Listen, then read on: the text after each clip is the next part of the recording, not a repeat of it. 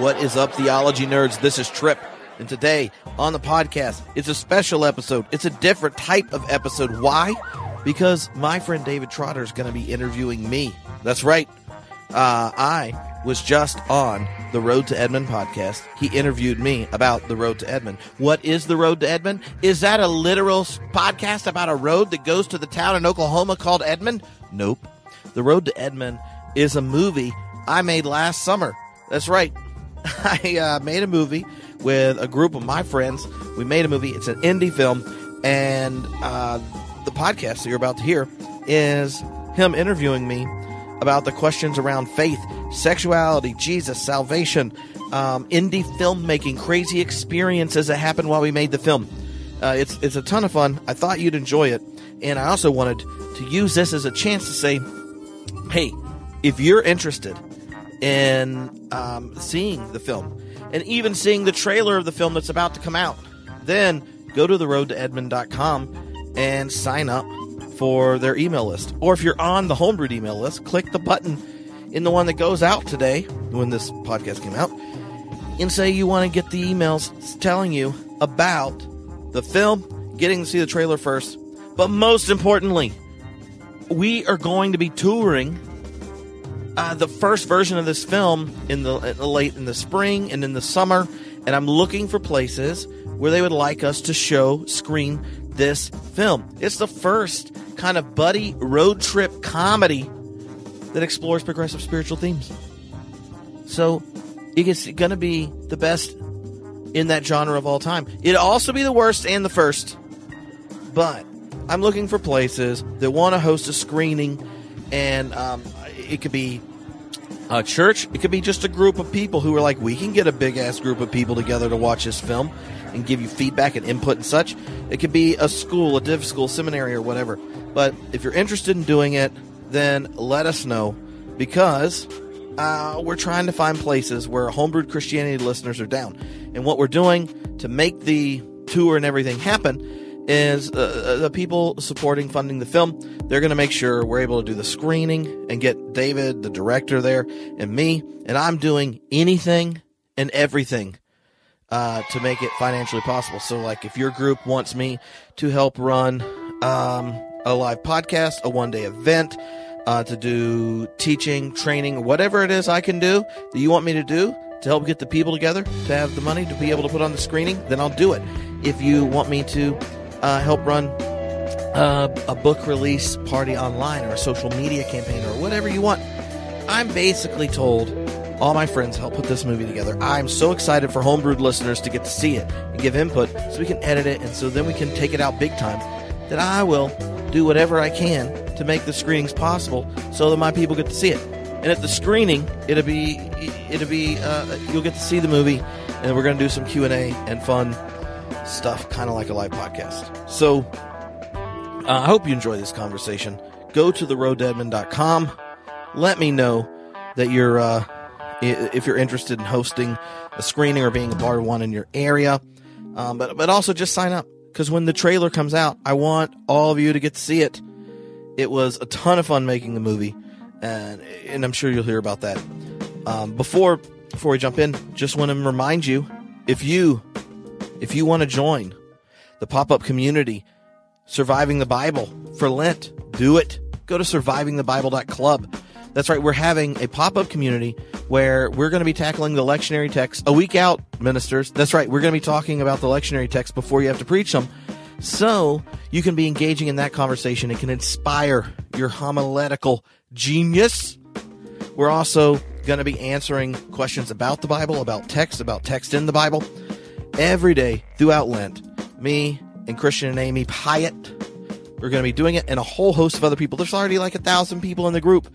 You should join it up. Go to survivingthebible.club. Yeah. This would be the first time you've probably joined an internet club. And and how and how cool is that? You're gonna you're gonna I'm gonna gonna read the Bible this Lent. I'm gonna survive it. So this is a group. If you're a heretic, if you're a skeptic, if you're a doubter, if you got stacks of questions about the Bible, and you're like ah, giving up, giving up God, atheism for Lent style with Peter Rollins, that's too easy for me. But if you want to join that, you can use the code Homebrewed15, get discount. I'm saying, like, if you still want to do that, you can. But if you're just like, nah, nah, that's it. I, I, I want to go hardcore. I'm going to read that book that's been so frustrating, irritating, and plaguing my life so long. I'm going to wrestle with it. Or if you've like never read it before and you're like, I'm actually going to read this thing, then we're going to do it. We're going to wrestle with it. It's going to be awesome. Surviving the Bible dot club. Now, here's David Trotter asking me questions about my faith, about this film, and a whole host of other things. Enjoy.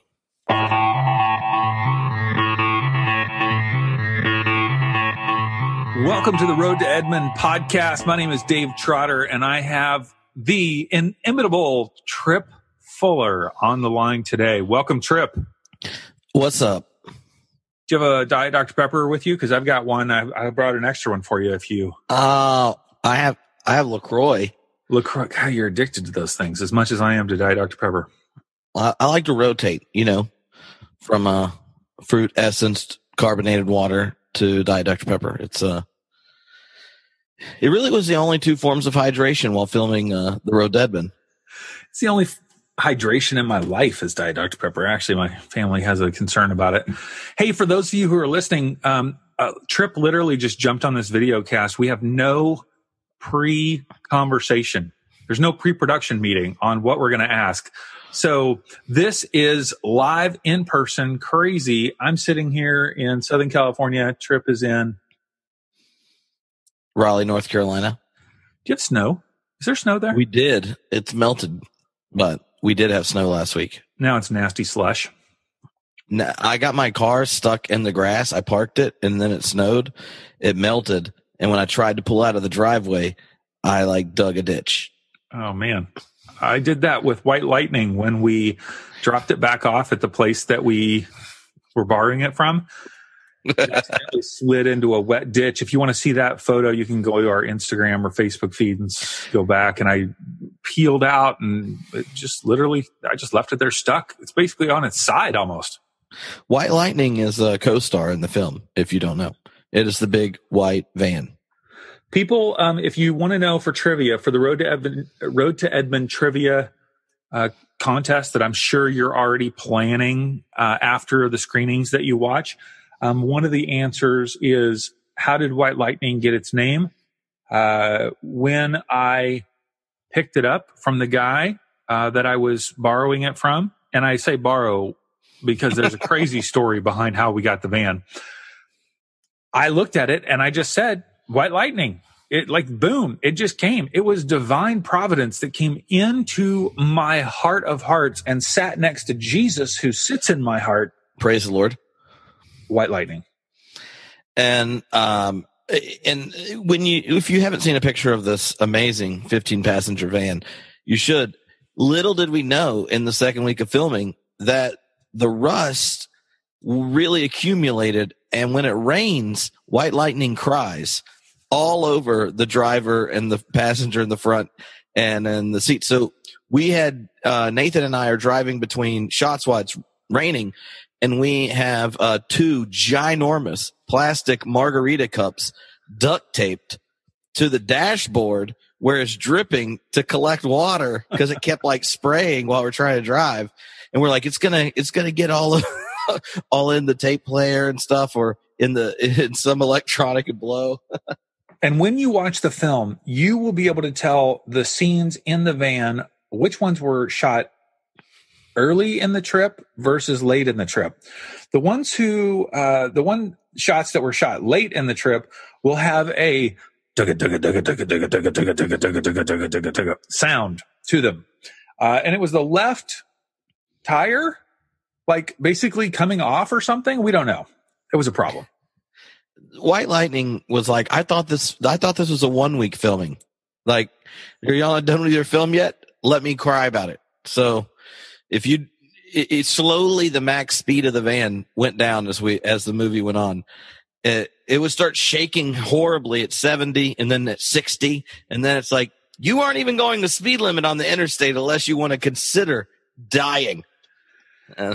for those of you who wonder when you watch the film why so much footage in the van is of the side of Larry's head and the side and or back of Cleo's head, it's because we could not figure out a way to mount the cameras in the front part of the van without them shaking tremendously. We're talking high quality mounts. We're talking now, okay, we didn't put the van on a trailer like, you know, ye old Hollywood pictures because we didn't have the budget to do all that. No, no, it's because we're authentic, Dave. It's very authentic. Yeah, we're trying to be authentic. You're sitting in the back seat. That's where you're sitting. Yeah. You're sitting in the back seat with Larry and Cleo. It's very powerful. All right, uh, uh, Tripp.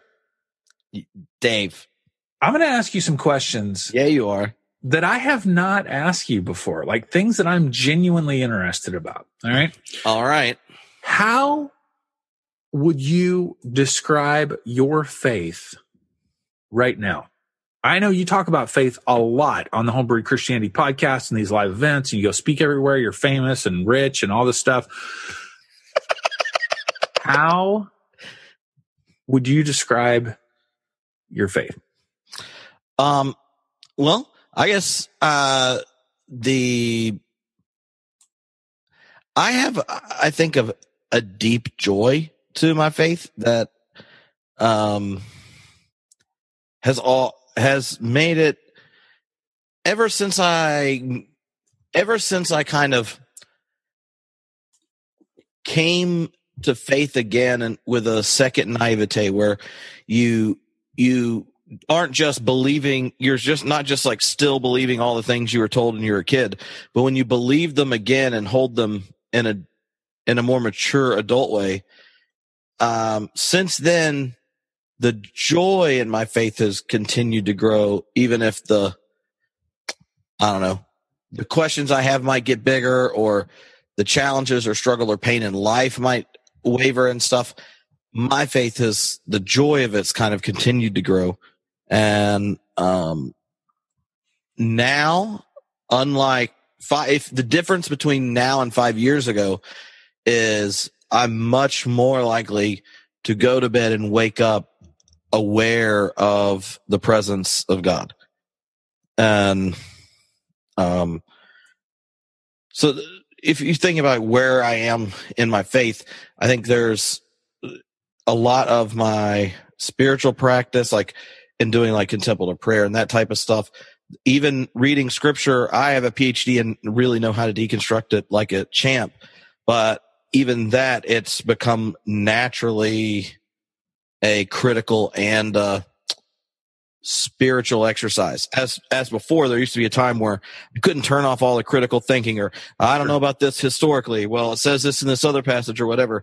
All that's still there but then just like engaging in worship or communion or scripture and things like that the joy of it the childlike style of faith and receiving it as a gift is oh it's more rich now than it's been any time in my adulthood so Wow. and i think part of it is learning it from your children Mm. honestly like um when you see your kids uh um receiving yeah receiving the stories of the first time they have communion and these type of things and they hear uh this this is our celebration of god's gift to us and stuff like that um watching them come to share this ancient tradition that's been passed down and stuff makes you realize that yeah there's a reason i started the giant quest of questions and doubts and heresies and stuff. And it really was that you know in my family in my culture the this is the tradition of wisdom that's given me uh, a deeper experience of life and given me the questions to wrestle with and and pushed me into uh, living with more integrity and compassion and and striving for greater justice and beauty in the world. And i i guess the you know the annoying things about tradition are all still there but there's a certain beauty to it. And so i try to lean into uh lean into that. Do you feel like your personality, and I, I have not known you long, I've only known you for a couple of years. Do you feel like your personality lends itself to that perspective. Like you seem a pretty gracious person. You, you seem like a pretty joyful person. You seem like a person who rolls with the punches. You know, like, do you feel like your personality lend, lends itself to that place in life that you find yourself now? I, I imagine so. Like, and, and I say that not because, um, here's this is what goes through my head when you ask that is I know plenty of people who would go uh, that know me that would go if I did not know you I would think what you just said sounds like bullshit. Like and if they know me they're like yeah yeah I get makes sense. I guess that's how Tripp rolls. Because uh, even friends or family who've experienced some of the same pains and hurts from religious institutions and stuff or, or trauma around it and things like that it's landed different and and it's hung around differently and I, don't like see them and go like, oh, geez, you should you should be more like me or something. Um, I think, uh, yeah. So there's probably definitely something about my personality about it, but I also think maybe the other part of it is, um, once once you kind of come face to face with those first few big, extremely painful experiences, betrayals, hurts, griefs. And um, if you've learned to process those, then I think that's just a, it becomes a utility. And I had really cool, amazing patient mentors at times where my life was real difficult. And so I think it's put things in a different perspective for me.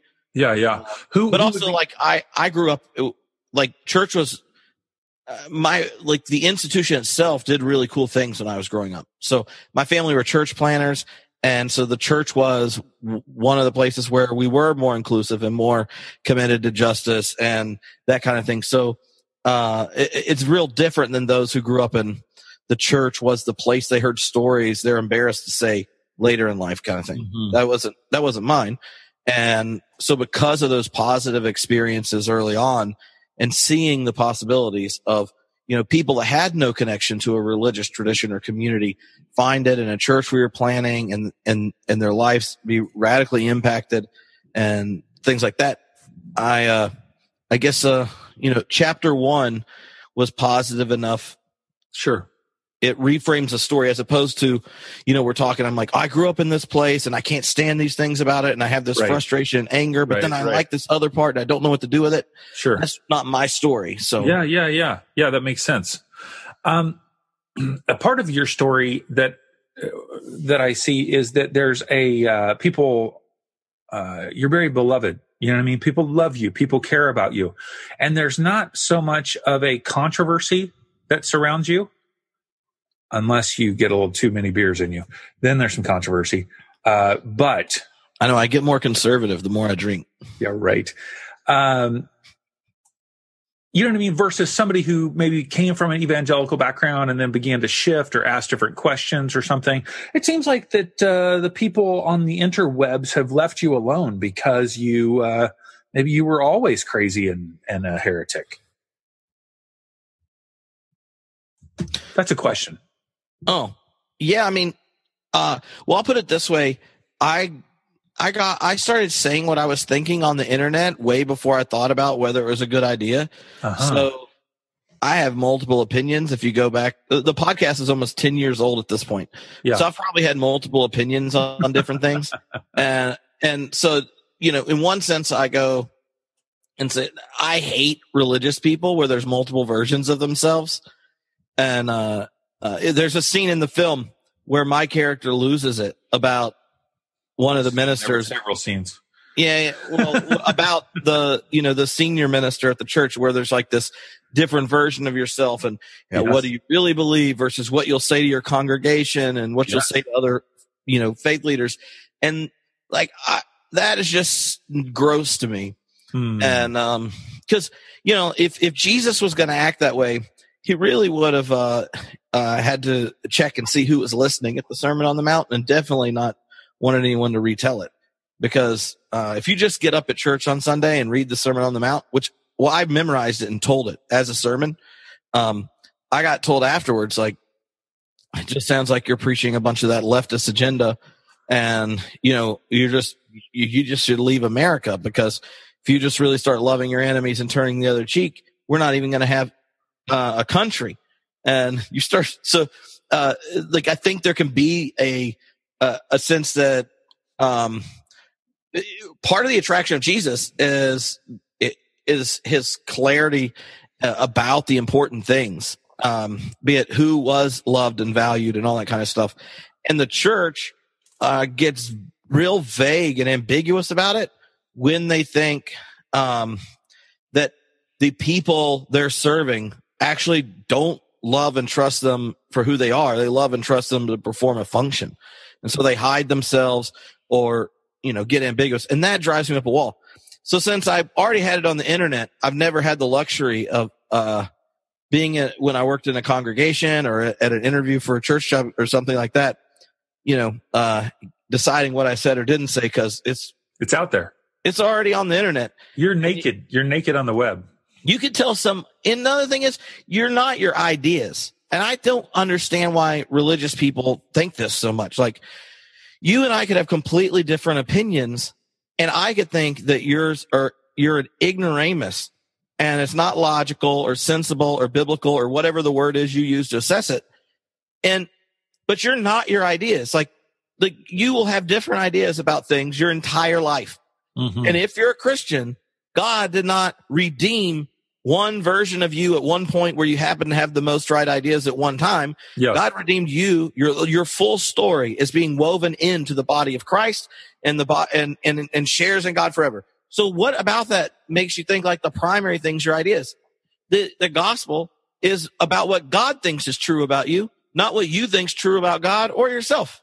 Mm-hmm. And so if you're not your ideas, it, then I think you should be free to be as right and wrong and inarticulate and confused and, and confident on one day and doubting on the other day and stuff. And, it, and so how, how does, how does a pastor or a leader lead in the way that you're describing, where there's a, uh, a freedom to have different perspectives when the church system, for the most part, is expecting a certain set of beliefs to be consistent.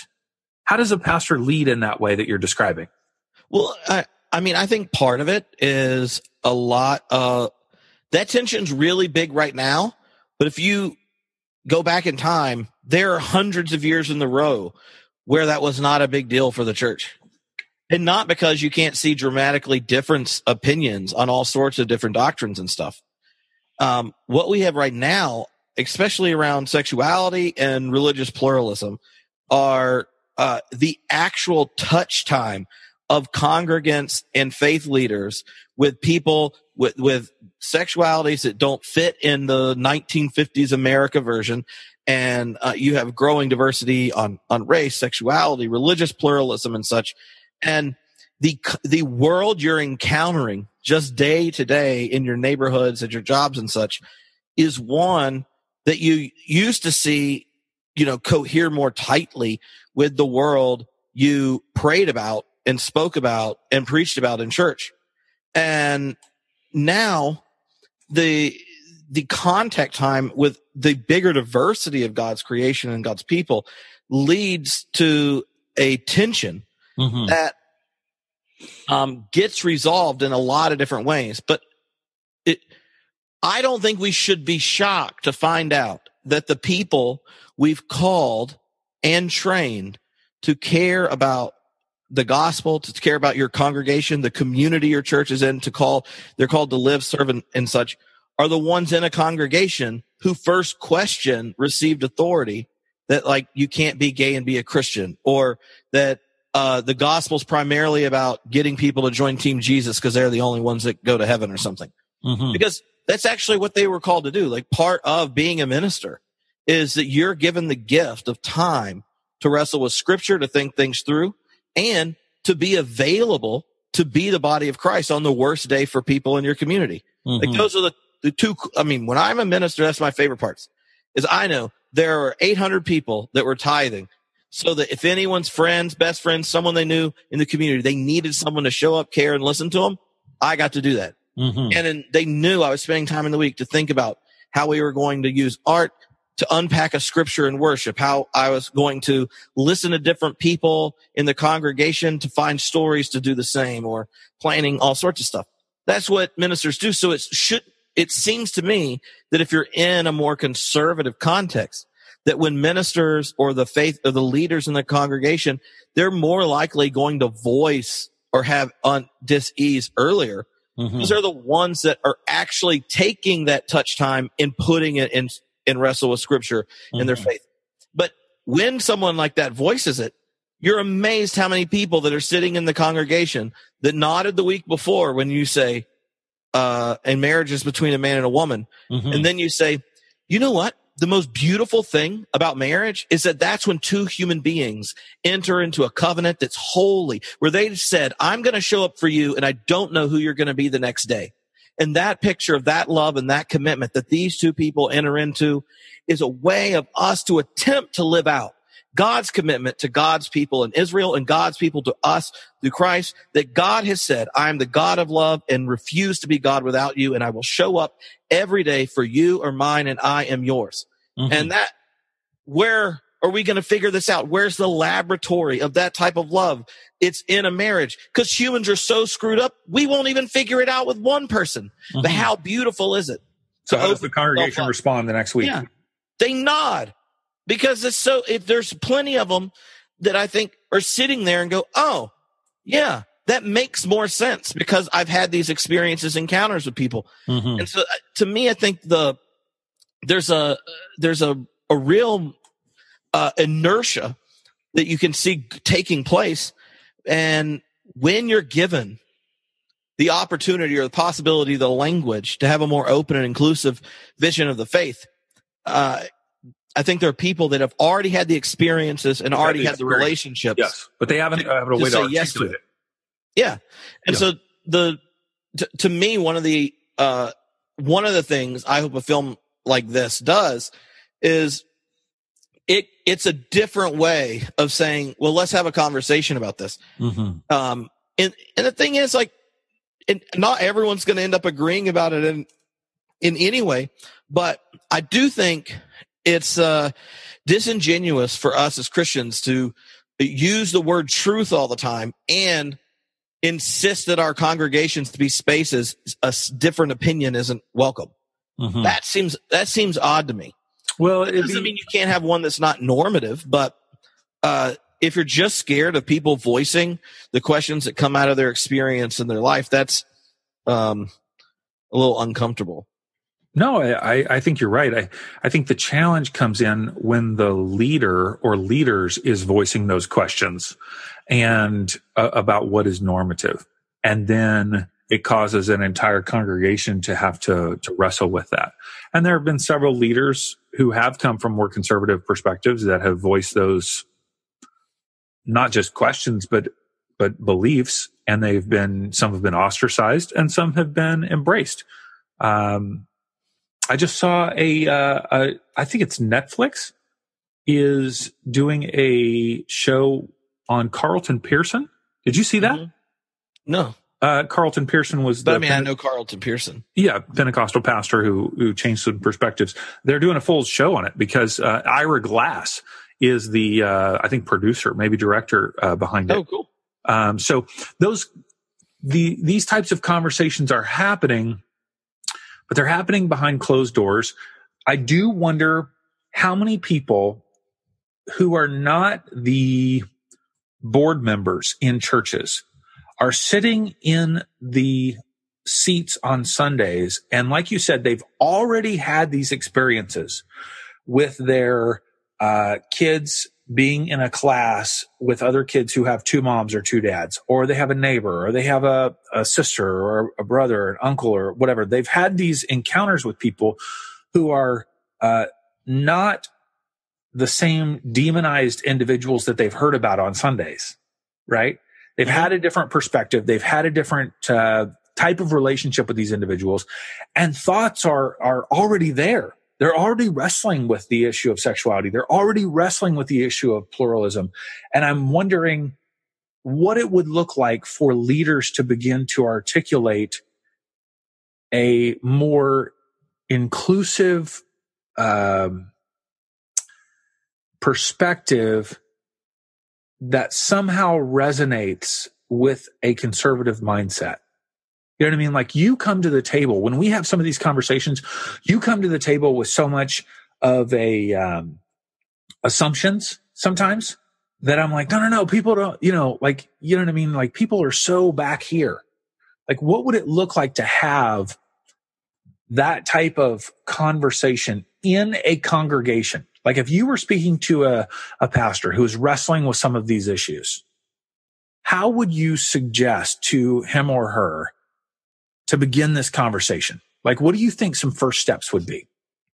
Well, I, I mean, the difficulty with how you introduce any type of conversation like this is that um, the people you really have to talk to first are your the gay, lesbian, transgender, bisexual members of the congregation or the community who are going to be present. Because if they aren't full of grace and patience, then um, it will it will be harmful. Like the last thing we need when you're trying to become more open is a conversation where people become open and vulnerable about part of themselves they thought God needed them to hide in that church, and then they get injured and hurt.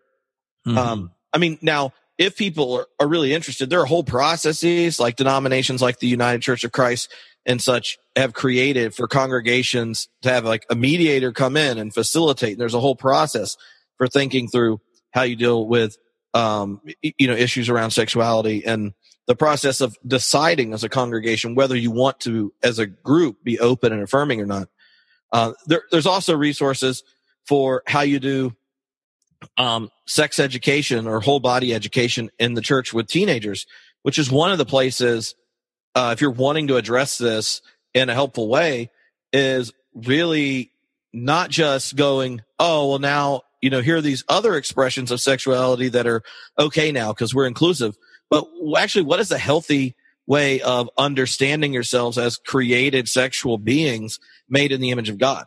Mm-hmm. Like the, the issue around uh, you know, like people that aren't home, like people that aren't heterosexual, any expression like that, it's intimately connected to the church's, and especially American evangelical obsession with sex. Hmm. But, uh, apparently they're getting really loose with it. So, you know, you'd hate to vote for a female Methodist Sunday school teacher when you can vote for a pussy grabber who pays off uh, a prostitute, like, porn you know, pay, yeah, basically prostitutes with a porn star pays her off, like pays her off. Oh my God. Like you, that is like, just so you know, regardless of what stupid ass reason you give for that, like making sense after that, your kids are rolling their eyes. Like there's no chance they're not rolling eyes. Like if you come in and you're like, I voted for Donald Trump. We gave him a, we gave him a do over at 64 when he had a three month old and was banging a porn star behind his wife's back. He gets a mulligan in his sixties, but don't you touch titties, 14 year old, or you're going to go to hell. See, no one gives a shit at you anymore. Like you just know the only thing you really care about is the power. And surprisingly, the only type of evangelical Bible believers that are real worried about it are white. So we can go ahead and connect those dots as well. But, um, like, so, you know, I, I, to me, it's just a uh like starting I the think, conversation. Starting the conversation. How do you you have that? to think of who's going to get hurt. There are lots of resources but before you have to decide it's worthwhile and that you want to do it. Yeah. and i think for a lot of leaders in uh, especially white evangelical churches they enjoy the perks of their job more than the call of their ministry. And so they know what the right thing is to do. They know they need to do it but they really don't care if they're if their their livelihood and stuff's going to be in jeopardy. Then they come up with stupid reasons and then they tell it to you and try to justify it to you. And I've had this email conversation that I'm describing with 50 pastors or more. Sure. I know mega church ministers that we would all know the name to, who I've talked to multiple times, who personally are open and affirming and are lying to their congregation or dodging it. And the only time I've seen people that say no after, the, if the Holy Spirit's like, you should think about this. Oh, now you're in a new position and you're like in this new space, do you voice it to church? The moment that door gets closed the first time, they get defensive and want to protect whatever it is, the prestige they have, the possessions and stuff they get for their, their, their position. in there. Just um, the salary. Yeah. And so they don't do anything. The only time I've seen people reevaluate after that is after some big tragedy where yes. like a kid in their congregation, uh, you find out is hurting themselves or commit suicide or something. And then they're like, Oh, oh, but you know, like think of, I mean, my family are church planners. So like we're like the amount of energy and creativity you put into creating a situation where you can tell someone who already has judged religion as BS mm-hmm. and especially Christianity that the God who made the world knows them completely and loves them completely. You put a lot of effort and creativity in that.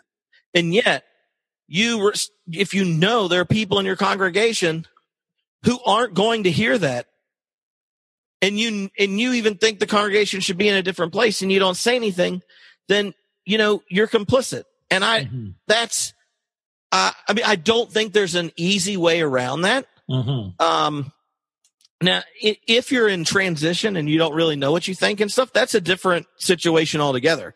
Sure. Um, I, I honestly think like you shouldn't as a minister start spouting off stuff that's your newest idea you had.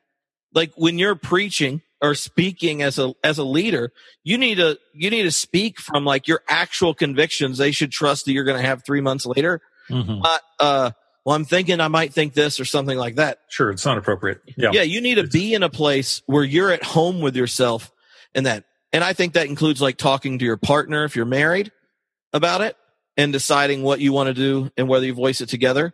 Uh, I've met friends who, you know, they get all riled up because they're like, oh, I'm progressive. I'm going to let everyone know at church. And their partner's like, uh, in Sunday school and then like stuff's blowing up and, and, and they're like, yeah, I just had to, I just had to tell people they can't be judgmental and blah, blah, blah, blah. like, and you're like, that's a mess. You didn't yeah. talk to your partner. Yeah. Your kids like half heard it and half didn't. Yeah. And, and then like someone's like, your dad loves the gays. And they're like, what's a gay? And they're like five and you're now like having to tell your five year old daughter, like, and you know, so like, like you don't score extra, like being edgy for Jesus points if you aren't thoughtful. Sure, sure. Yeah, like, yeah, yeah. Or, or rude. Yeah. Or, yeah. uh, so you bring, you bring us, uh, you bring me to the thought of just the road to Edmond and, um, for those of you who haven't listened, Tripp and I had a conversation that was more of an interview with me on uh, the road to Edmond for episode one. You might want to go back and listen to that. But um, just as a quick catch up, I wanted to create a narrative film. I'd done three feature length documentaries, wanted to do a, a scripted narrative film, and wanted to create something that was for specifically Tripp and Nathaniel because I knew that they had a relationship that would be synergistic on screen. And so as part of my own spiritual journey, there are questions that I have been having that revolve around sexuality and pluralism. And I wanted to tell a story that interwove those in a way that I thought would be um, commonplace, you know? And so this whole story of Cleo being a youth pastor uh, for those of you who don't know, he has a girl in his youth group come out to him and he responds in a way that's um, uh, loving and caring and he's with her and the church does not approve and sends him on kind of a two week Jesus timeout to think through things. Now, I have been uh, privy to situations where you know the two week Jesus timeout is basically like, hey, let's figure out how to fire this guy without getting into a lawsuit and uh, it's this time of discernment, right? And so this is this is commonplace in a lot of more conservative churches. Um, I don't necessarily have. Uh, well, let me back up and just say that this is not my story, but it's a story that embedded in it are the questions that I have mm-hmm. been wrestling with. And so I wanted to create a piece of art that spurred on those questions with a lot of different people. And Tripp has been incredibly um, uh, just integral in the development of the film and the concepts and us wrestling through things and him bringing more ideas. And so, Tripp, I called you up and we had been talking about some other projects and I was trying to figure out how to rope you guys into something.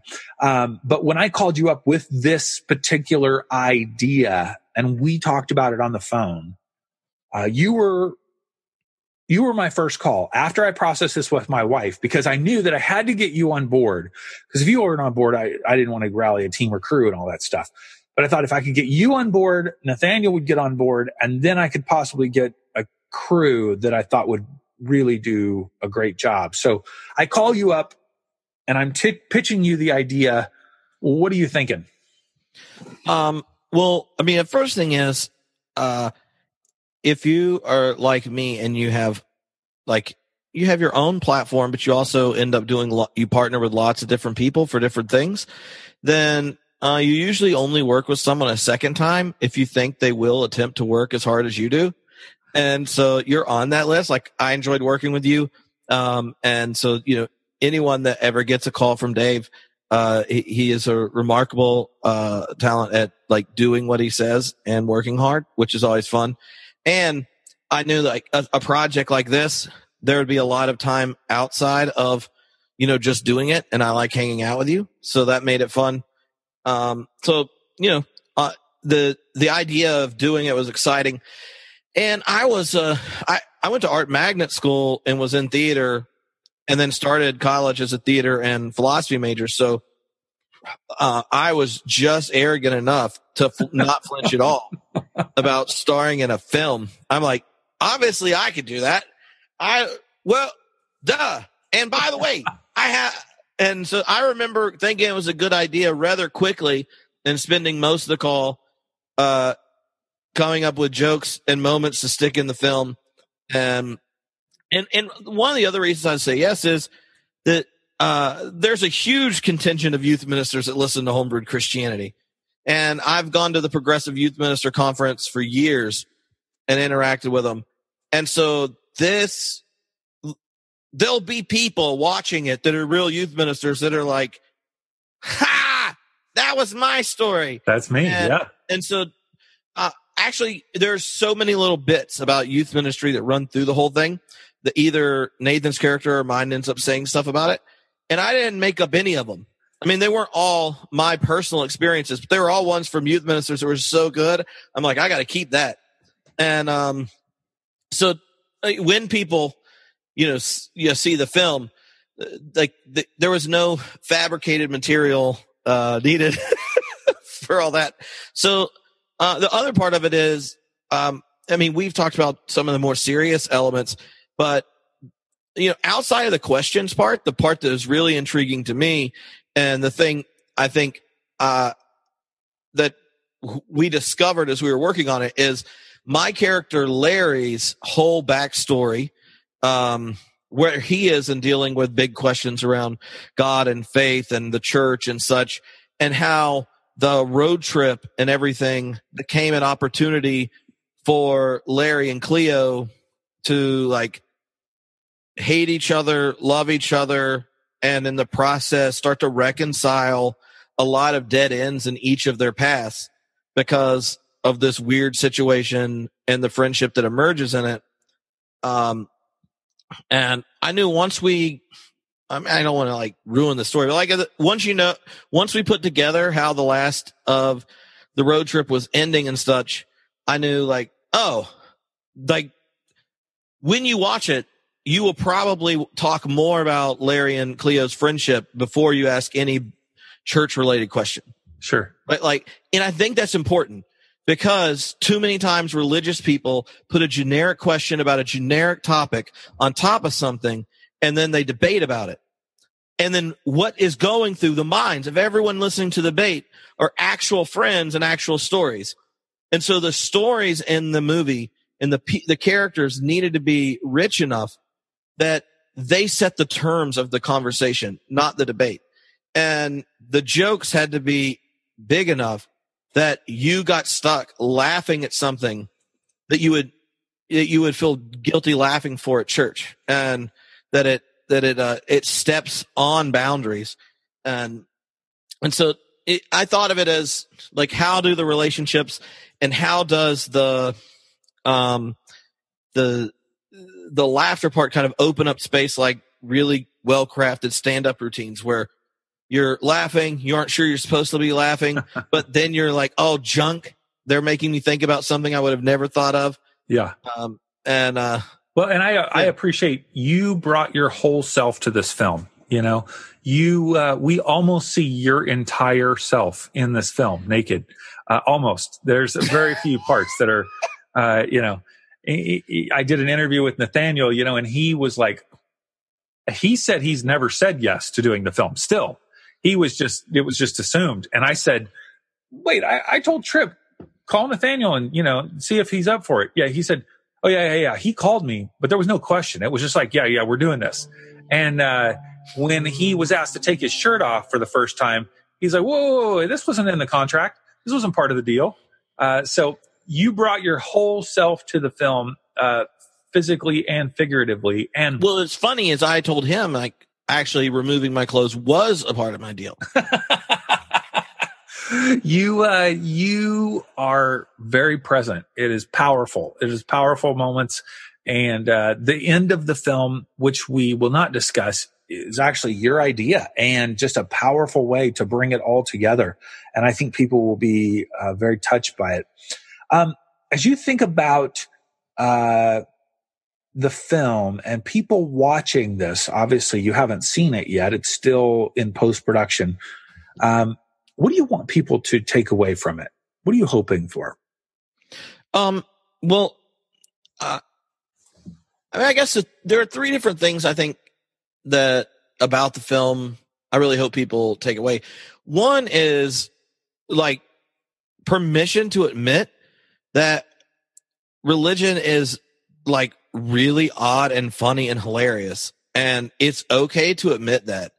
And it's actually okay to laugh about it. Like you actually do your faith no service if it's not even humorous. Like there's a reason the the uh the LDS put ads in the musical Book of Mormon. Like it, and no one looks at it and it's like if they didn't put an ad in there, it's like this is stupid. I can't believe they're making fun of us. Why are there these crazy jokes? I don't like South Park either. No, they put it in there and it's just like this is who we are. Sure. And I hope you enjoy the show. And and like, why? Because they're totally cool owning their identity. And you know it because you've said horrible things about m- missionaries that came to your door right after you shut it. And they know you thought and said those things, but they're like, no, this is who I am. And Christians have had so much cultural privilege in the United States. They were there. The, they feel persecuted when they're in charge of everything. And if it doesn't run the way they want in every part of government, at their schools and everything, they're like, you must hate Jesus. And I'm offended. And so like part of what I was hoping to do is like a lot of the jokes, like there'll be jokes if you didn't grow up religious or Christian, you won't completely get. But if you did, you'll be laughing. I'm like, am I allowed to laugh at this? And I think being able to laugh at all the stuff that's connected to your faith also means you're at home and comfortable with it. And we need to do that.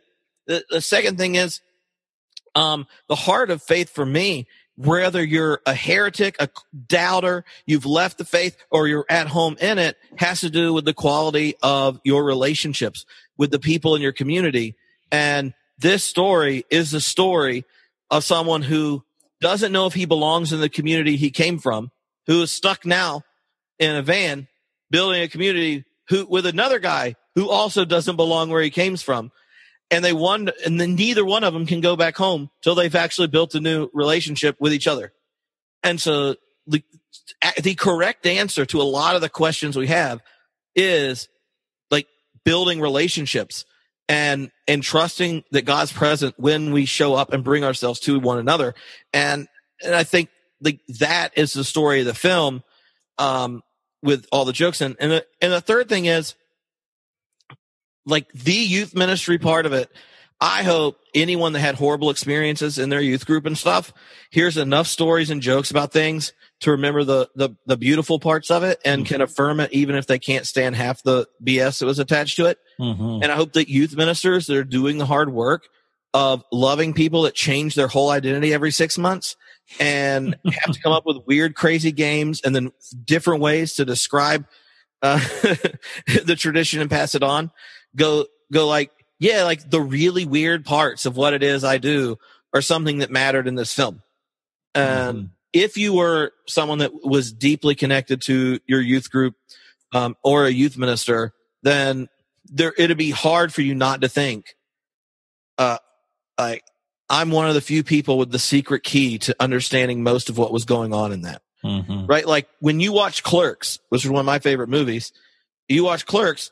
If you ever have worked as a clerk in the in any store back at the time, you were like an immediate fan. Sure. And then your friends that weren't clerks are like, "Is that really what happens? Is that how Yeah, it goes?" yeah, like, yeah, that is kind of yeah. And so like this has that uh that kind of um what happens when you're not around Yeah. uh conversations among ministers when you aren't around kind of feel to it which i which i really enjoy because uh usually ministers um when they're played in when they're played in films are like seventh heaven dad? Totally. just ridiculous. Or they like look amazing and smile and are the bad guy. Like uh it's like when are we gonna have a film about a minister? Like well did they kitty touch steal money uh uh, like finagle women on the side? Like what what are, or it's like some pope from the 14th century who kills people right? Like uh, this this like cleo is like a lot of ministers who is there because he, he's like, yeah, I was born Christian. I really love it. It matters a lot to me. I love the people. I love all these things I do. And I'm not really sure about this. And then sometimes I am and other times I don't. But this is what I am. And I can't imagine myself not being here. That's so many ministers. It's very real. That's very Uh, real. And I, it might like really give ministers who watch it and talk to their congregants. it- it- they're much more likely to have an idea of what it's like to be you after it than if you have trouble kind of opening up that side. Sure, sure. Okay, so uh, take me to the filming. Twelve days of intense filming, anywhere from ten to sixteen hour days.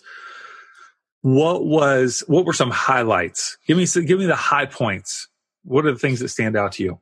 Uh, Um, positive, positive, positive things. Uh, well, um, I regularly during, so there are a number of sections where I'm just harassing Nathan's character.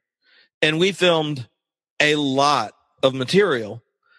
And the whole time I'm trying to get Jess to roll her eyes at me, who's like recording the sound, right? Um, you'll hear her soon. And, um, she doesn't appreciate a lot of my humor the way I intended to be appreciated. So I would keep telling jokes and, uh, and, and then I would just keep making them worse in hopes to get, cause she had the funniest eye roll. She'd be like, She has some big eyes. Yeah, oh, yeah.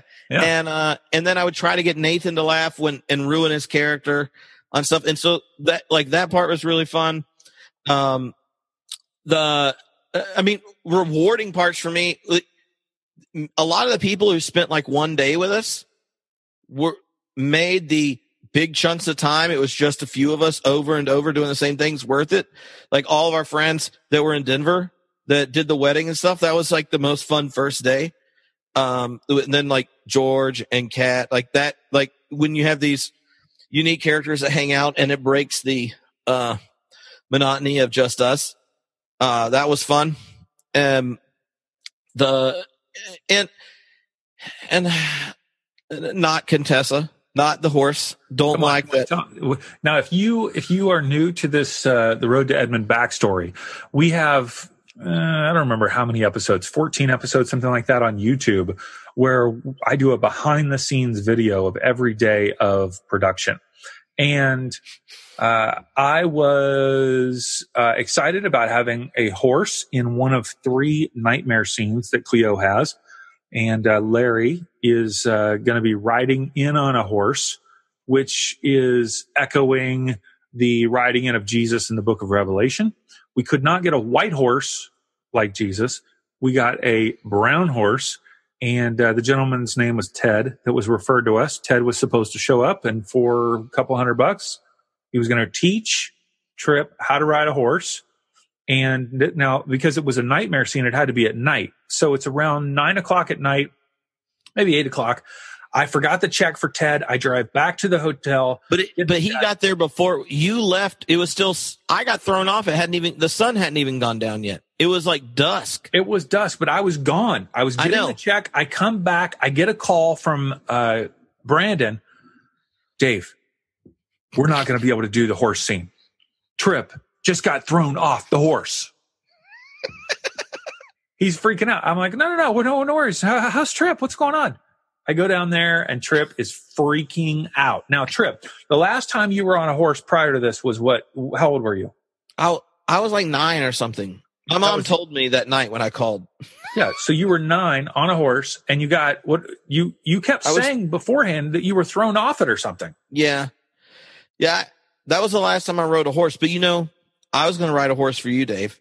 I know, and you were going to have like this white robe on and like a crown. it was dripped in blood. Dripped. In we had the robe dripped in blood because we're. I mean, this is a dramatic reenactment. Well, Contessa, Contessa was trying to take us all out. So tell me what happened. Take me back to that Contessa is the horse. Contessa is the horse. And um, Ted Tudor's the owner and trainer. Ted, Ted rolls up 70 on the horse who's really mad about the about the bugs. A lot she, of bugs.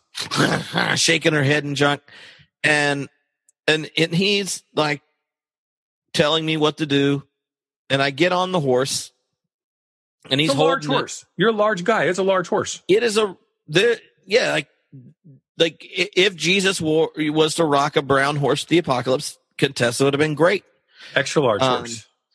So we, he's like, you, you walk. Here's how you stop. Now don't pull too back too much or she'll jump. And I'm like, nah, I ain't, I don't want to jump.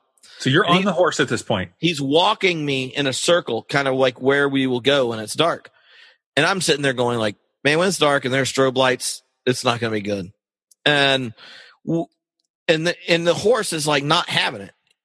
She's mad about the bugs and just like shaking her head, and snorting. Yeah. And Ted slaps Contessa upside the face and it's like, "Settle down, settle down, girl." I'm like, "Hey, uh, uh, you know, this you guy's old. Yeah, Ted's not like, you know, going to be picking a fight in an alley or anything. He's like 70. So uh, I'm like, this ain't good. And Jess, who like is friends with horses, is you could initially she's like, oh, I don't know. Like you could see her going, this doesn't look good. because I'm like, I don't know about this. The last one threw me off. Well, then he's then he goes, okay, we walked in the circle and he's he has me holding Contessa. Then then he goes, all right, now you're gonna do it. So you've got like, the reins in your hands.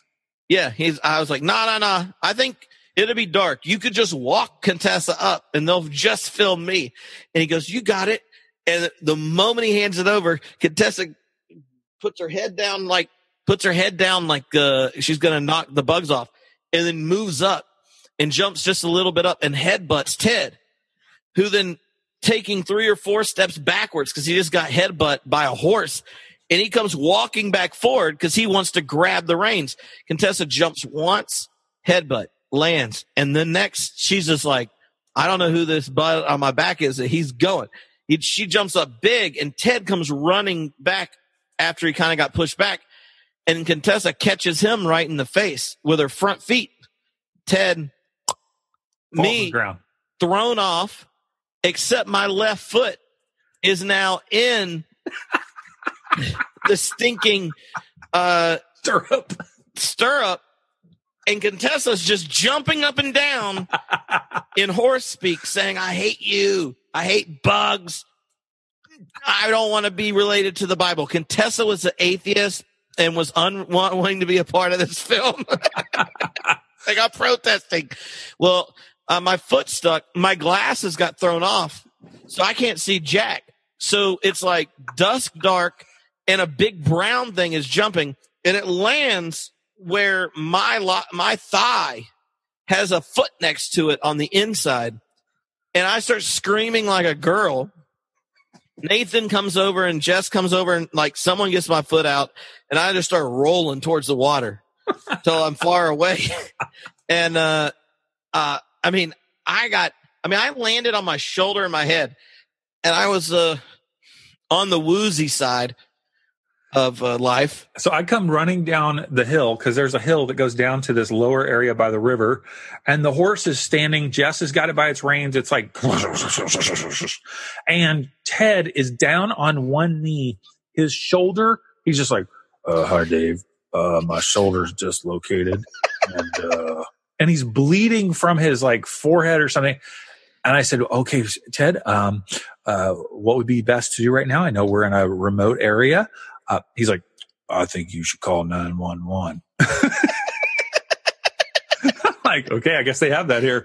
So I call 911 and like these, like these volunteer paramedics with the, they were so happy about their new, uh, you know, ambulance and they had this new gurney that had, uh, Oh, they were ready to rock. oh, they were fired up. They were excited actually. They're all swarming around and getting Ted up on the, the stretcher and, and he was crying out in pain. And, uh, you know, I was concerned. I was primarily concerned that the homeowner was going to maybe kick us off the property and say, Hey, you cannot film here anymore. You've caused a disaster. But he was cool. He was awesome. I was super, super thankful that he was, uh, very welcoming. And I was concerned about your well being, of course. Um, I was bummed that we didn't film that scene, but I was very happy that we actually continued filming. That was about nine o'clock at night. I think we circled up and got started filming again around 11 and we filmed until 3 a.m. that Oh night. yeah. But you had some medicine later on in the filming that made you Well, feel better. while we were waiting for that, uh, the ambulance, um, George was giving me a hard time for crying like a. Uh, yes, George plays Jabez, and he has a a, mm, a unique mouth. Yes, Uh, yes, it's uh, he comes walking over there, and I'm like, I just had fallen off, and I'm in like pain, pain, and my head is throbbing, which it did for two or three hours. But he comes over there, and he's like, "What happened?" I was like, "I got thrown off the horse." He goes, "What are you talking about?" I heard somebody whining like a little. he said like a little bitch is what he said. it's like somebody like a little bitch. I was like, no, I really did get thrown off. and so, uh, and he's like, that's not good, Tripp. It's not good. You already talk too much in these scenes. I, you're going to make it go all night long. I need you. You know, he starts like lecturing me. He told me, he said, why is it we'll be just sitting around here talking and you're fine? Then they start and it's just like you're somebody else. oh, George, I cannot wait for you to interview him. That is going to be one of the best podcast episodes ever. Um, well, the, I'm, I'm thinking we should do it right after the Super Bowl because uh, he's a huge, huge New England fan. Yeah. So to either, if they lose, which might make for the most fun uh, podcast, then I'm sure he won't be happy. If they win, he'll have jokes for uh, all, every other possible NFL team. he will definitely be on fire. Hey, I want to talk to you about um, some of our goals here. Now, we are planning to launch a crowdfunding campaign in a little less than a month in order to fund a pre-release screening tour. So the, the desire is that we would take the film out before it's completely done uh, and get some feedback and rally people, have these conversations that we're having right now after the film, and then even uh, some things that you would offer the next day. So, it- for those of you who are listening, one, if you're interested in hosting a pre-release screening at your church organization, whatever, we're looking for 100 to 10 million people to be there. All right. In between that, 100 to 10 million. And, uh, you know, like if Joel Osteen, if he's listening, I'd go there. We'd show it there, wouldn't we? Lakewood? I we're open and affirming to venues. Yeah, totally. We're open to and uh, Life Church in Edmond, Oklahoma. Uh, we I know I tweeted them. I, I haven't heard back yet.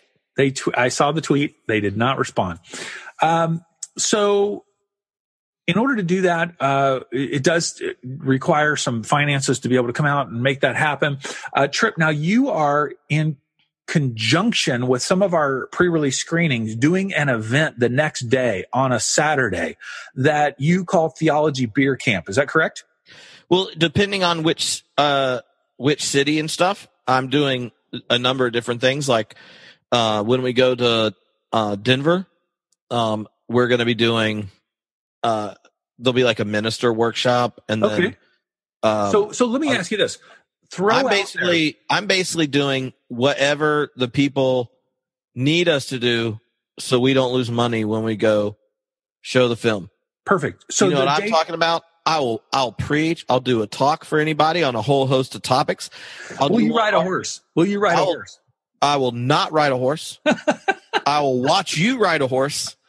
I would be willing. Okay, so let's throw this out there. If you're listening and you want to do a pre-release screening and you're open to Tripp then doing something the next day, Saturday or Sunday, um, uh, what what are the options of things that people might be interested in having you come do? Um, well, I I know I'm doing some podcasts for people, uh, to and like a school sponsoring one, so it include a lot of their professors and stuff. So that's Oh. where those who haven't been a part of your podcast, it's where you have experts. You guys sit down, you talk about theological issues, you drink a lot of beer, and there's a lot of great merriment. Yeah, and the and the thing about a podcast that's cool is, um, you know, it's kind of like a late night show meets Charlie Rose with God Talk. Mhm. Uh, um, the the edited version then gets put out on Homebrewed and then promoted in the email list and stuff. So, you know, if you're like, oh well, um, It's I- advertising. Bottom yeah. line.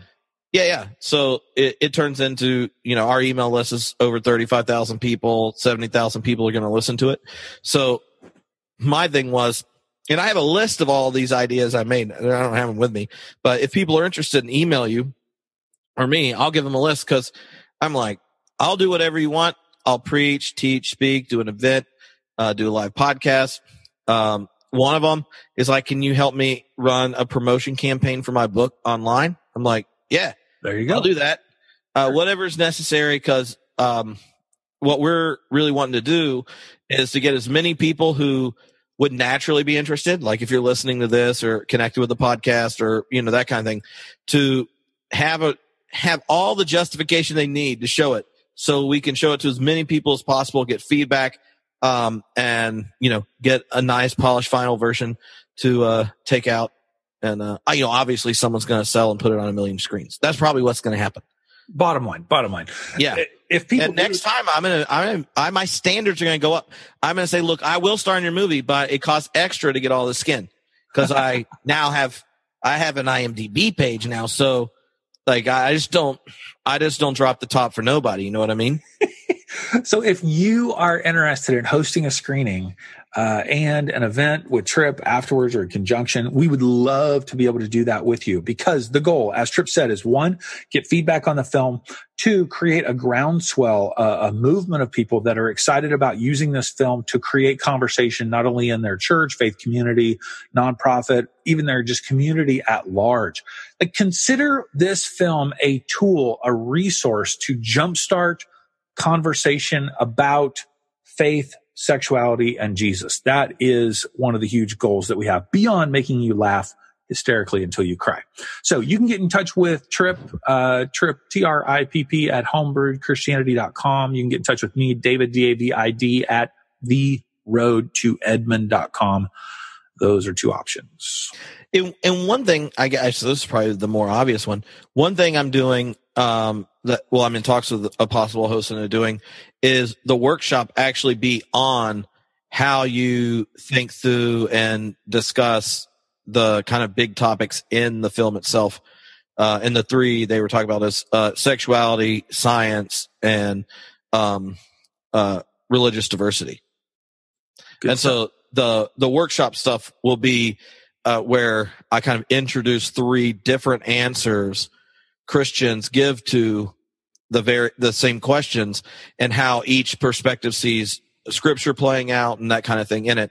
So that if you're in the room you kind of one understand more of the reasons people that share your perspective have that out of their faith and not just because oh like I know a lot of progressives they're like oh those homophobes but it's not like you ever asked them like so as a christian like how do you understand gender and sexuality? They are like i don't know. It's just, just what i think and vice versa. So Mhm. like how do you understand perspectives across the spectrum coming out of their faith? And then how do we learn to love respect and acknowledge each other in difference and converse and that kind of thing? Um and uh the, so one one group's talking about doing that and you know that easily fits the film where you watch it and stuff and the next day can have you know conversation. Yeah. Yeah, it's great. Perfect. All right. Well, hey, uh, follow us on social media, Facebook, Twitter, Instagram, YouTube, and the like. And we are in the process I want to know. I want to know when you're editing. What, like, what you were sitting there, not sleeping, and then going through it. Um, I'm anticipating that I'll see stuff when I'm watching, and I don't remember saying it all. Oh and yeah laughing. Well, without what, so what? In going through all the uh, all the different scenes as you're going through, like, what's a what's a moment you didn't anticipate being a moment that you're like, oh, when that's on screen, um, or that moment really stuck or landed. Oh man. Well, I have been editing this film for the last couple months. It feels like I don't know. Maybe it's been a month. And I start early in the morning and work for a number of hours before I get on with my other work as a marketing consultant and so forth. My wife, who gets up early as well, she gets up at like 445 to work out every day as a teacher before she goes to teach. And so she will hear me in my office laughing out loud and open the door. And she's like, it cracks me up that you're laughing at like five in the morning. I go, I know, but this is so funny, you know. Um, I will say that uh, the scene where you are going off in the van at the Rainbow gas station about Cleo's interaction with Pastor, uh, his pastor, is uh, that's very powerful, and that will create so much conversation positive, negative, all the way around. You know what I mean? That really is going to to really mess with people. Um, I, I think, as I mentioned to you in our first conversation, episode one of this podcast, it's an equal opportunity offender. It is hilarious. It will push the boundaries and buttons of people who are conservative, progressive, and in the middle. And I think that's what's funny about it. I think it allows us to laugh at different things, laugh at ourselves, um, stretch our thinking about uh, life.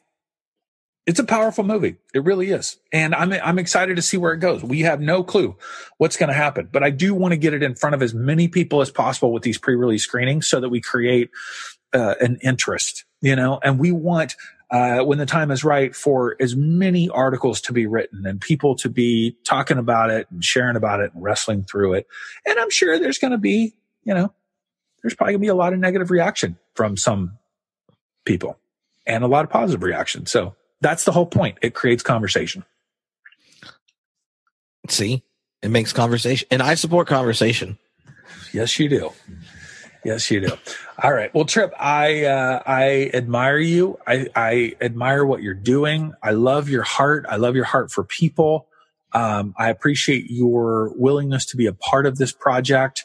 And um, I, I, just think that um, it's going to be good. The ultimate result of all of this is goodness in the world. There you go. Aww. yeah. All right, dude. Uh, until next time, follow us, subscribe, iTunes. Have you left a, a, a review Tripp on iTunes for our podcast? No. It's so easy now on the new app, the podcast app uh, for Apple. Um, you just bam hit five stars. You can write a little something.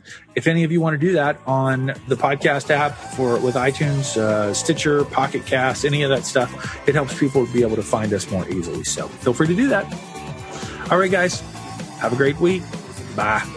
Peace.